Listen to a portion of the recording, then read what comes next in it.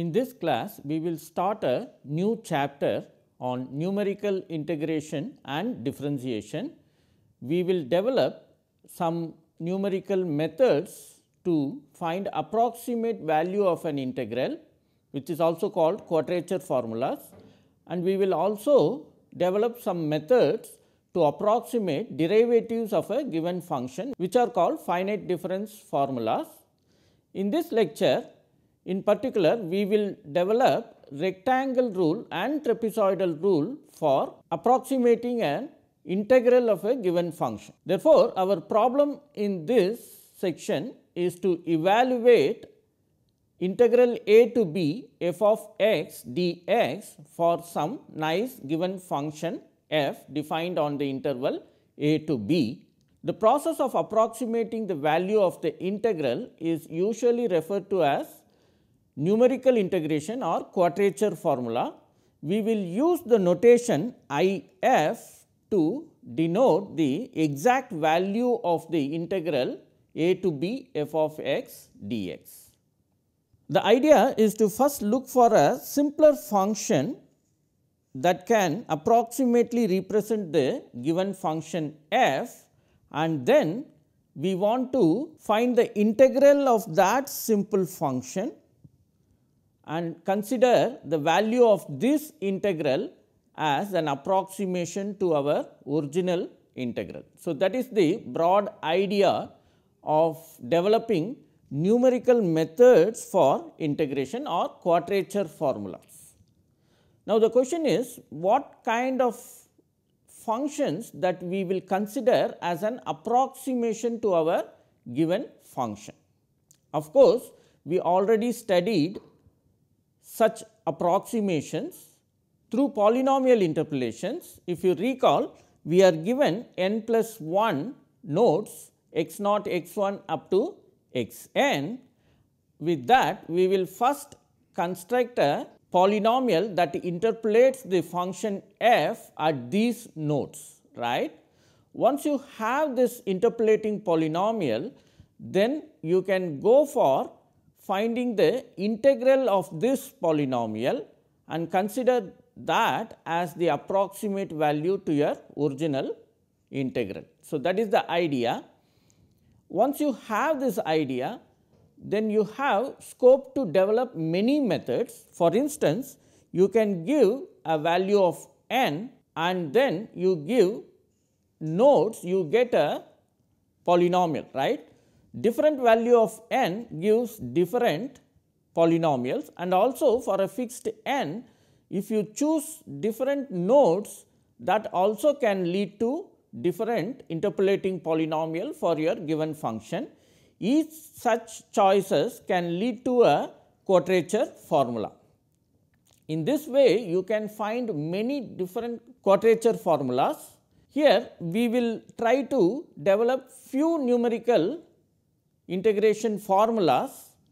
Let us see how this integral will look like. When you go to integrate the polynomial, if you recall p n of x can be written in this form. If you recall, I am writing it in the Lagrange form and now I will integrate this polynomial on the interval a to b and that can be written as sigma i equal to 0 to n f of x into integral of the Lagrange polynomials. Why it is so? We are just taking the integral inside the summation i equal to 0 to n f of x i integral a to b Lagrange polynomial of x dx right. So, this is what we are denoting by i of L i here. Now, this can be written as f of x naught and then integral of the Lagrange polynomial at 0 is what we call as W naught and similarly W 1 and so on up to W n can be defined as W i is equal to integral of the corresponding Lagrange polynomials. So, this is how a general formula for the numerical integration will look like if you go with this idea. right. That is you first fix a n and also fix n plus 1 nodes. So, these are given to us right. So, this is given to us and all these are given to us. With this you will generate the interpolating polynomial for the function f and then you will integrate that polynomial and the formula finally will look like this. Let us take some specific values of n and some specific choice of the nodes and see how these formulas look like. Let us start with the simplest formula called rectangle rule. Recall our general integration formula or the quadrature rule will look like this right. In that we will take n is equal to 0 and therefore, our integration formula will be simply f of x naught into w naught. Okay. So, these are not there for us and now you can get different formulas for different choice of x naught right. Now, let us go to integrate this formula you can see that the integral of the polynomial p naught that is the interpolating polynomial of degree 0 will be simply b minus a into f of x naught. Here you can see that different choice of x naught will lead to different methods with the choice of n is equal to 0 right.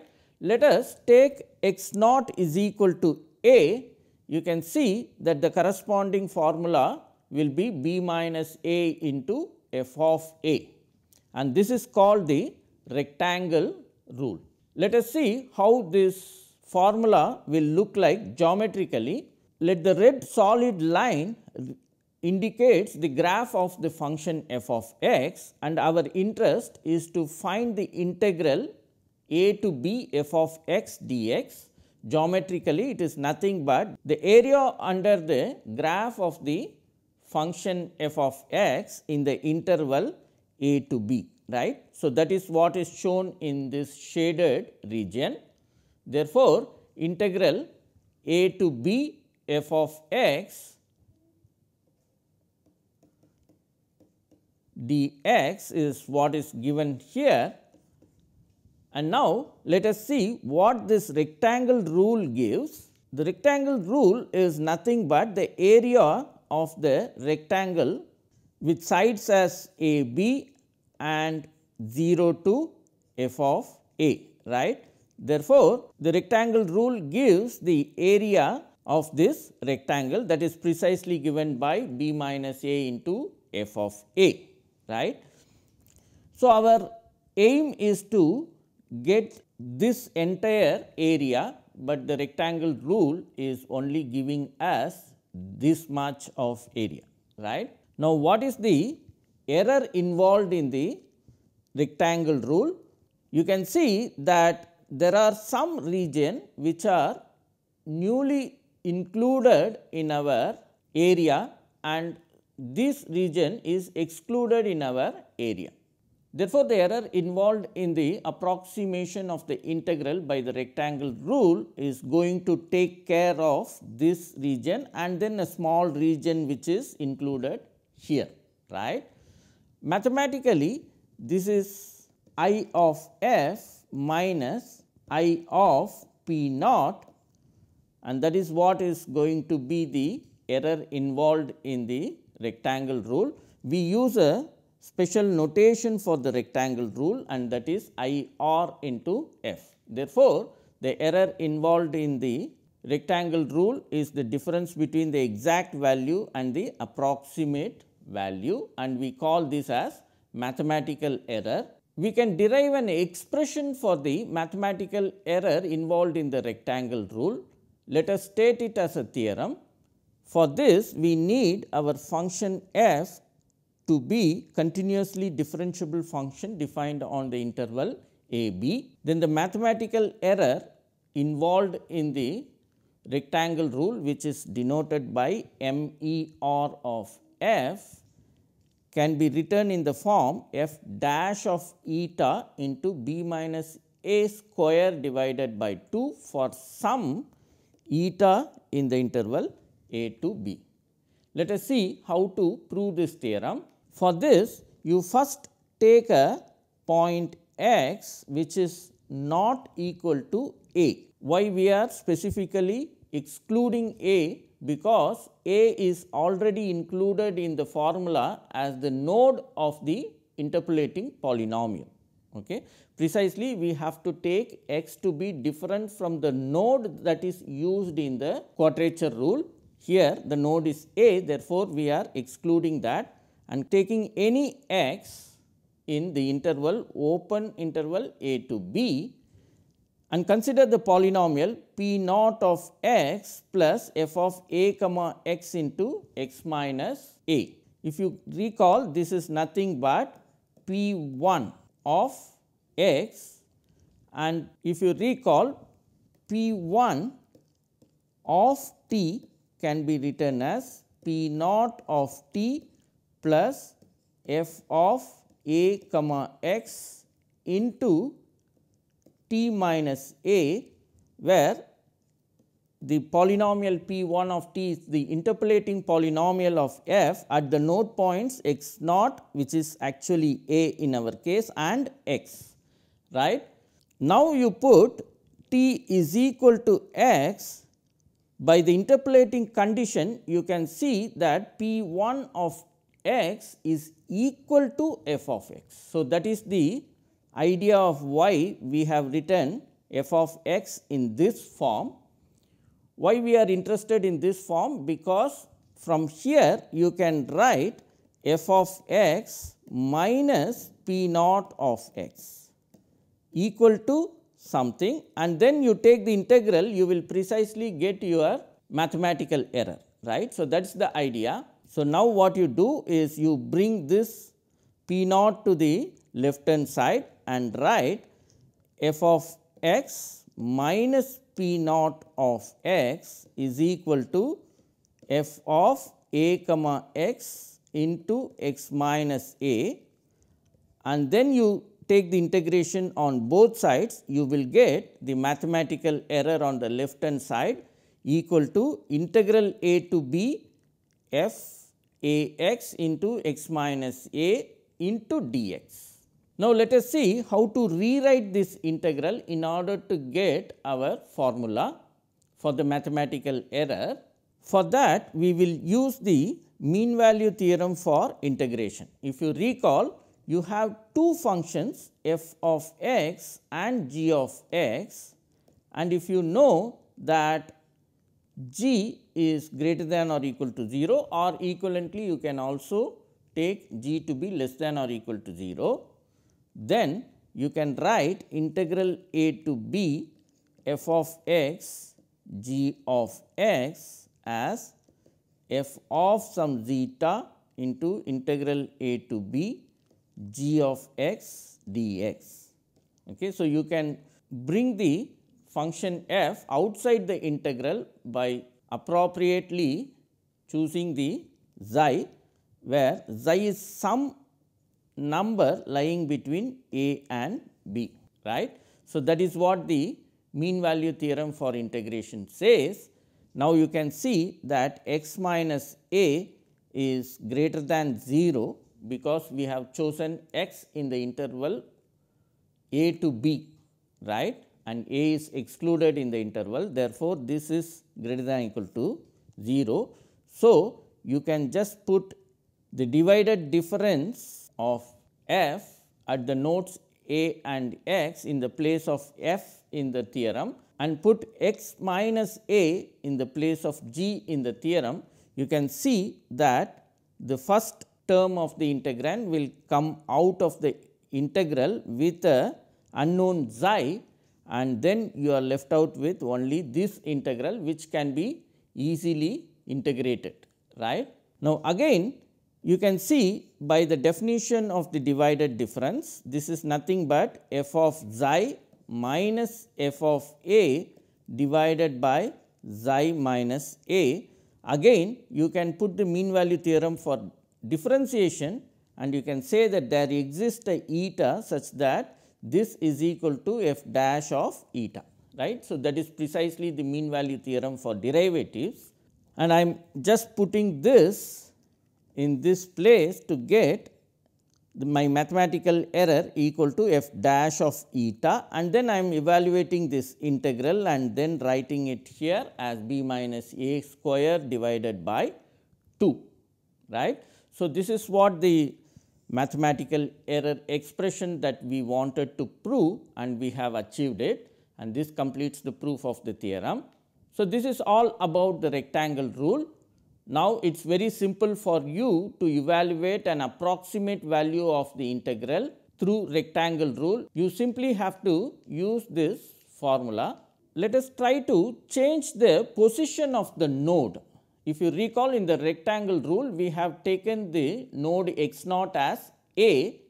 Now, you can choose that x naught as any point in the interval a to b. In particular, you can take b as the node, then you will get it another method and here we will take x naught is equal to the midpoint of the interval a to b and we will get uh, an important formula called midpoint rule. So, in midpoint rule we will only take x naught is equal to a plus b by 2 that is the only difference in the midpoint rule otherwise we are taking n is equal to 0 and thereby we are approximating the function f by the interpolating polynomial of degree 0 right. But to construct P naught in the rectangle rule we have taken the node as A now we are taking the node as A plus B by 2.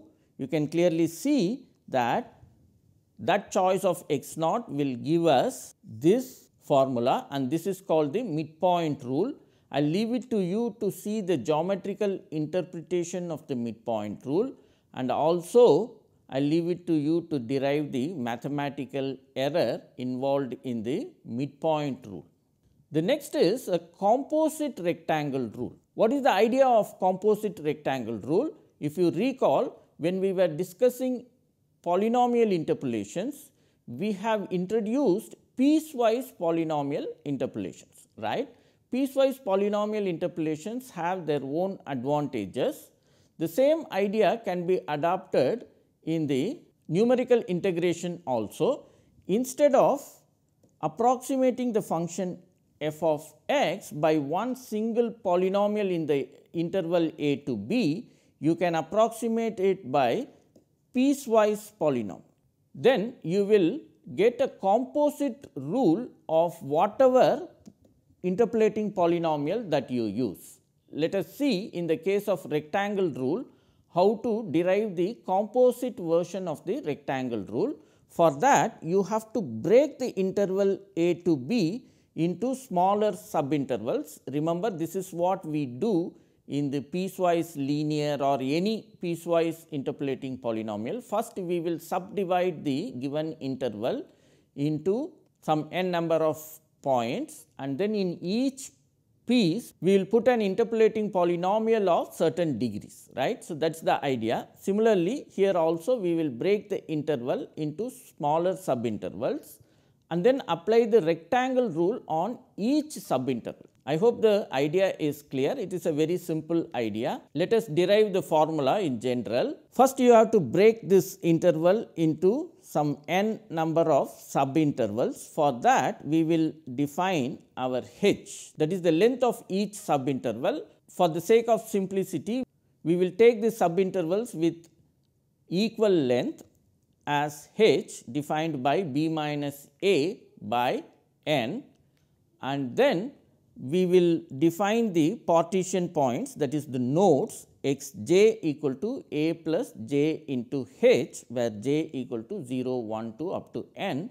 These are the nodes, but now we will not put one interpolating polynomial in the entire interval, but we will put polynomial of degree 0 in each subinterval and then we will integrate them.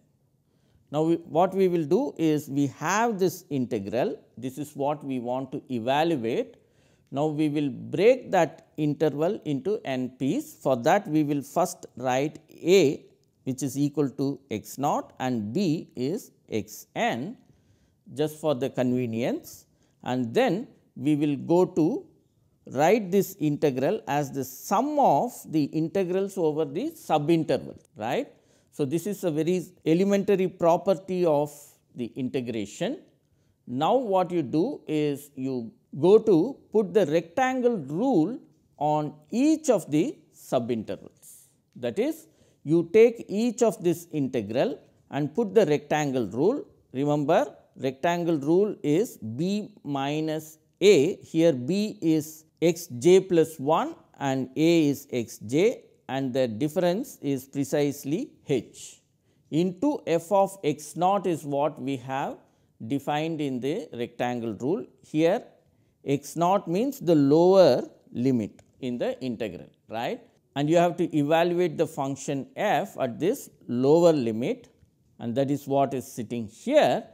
Therefore, each integral in this sum is approximated by this quantity and thereby we have the formula like this and this is the composite rectangle rule. Next we will see how to derive a quadrature formula using linear interpolating polynomial and we will also see how to derive quadrature formula with a quadratic interpolating polynomial. We will continue our discussion in the next class. Thank you for your attention.